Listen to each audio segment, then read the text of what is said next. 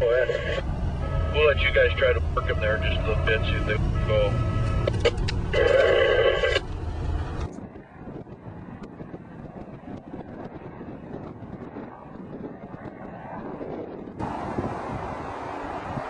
This is our last wild herd.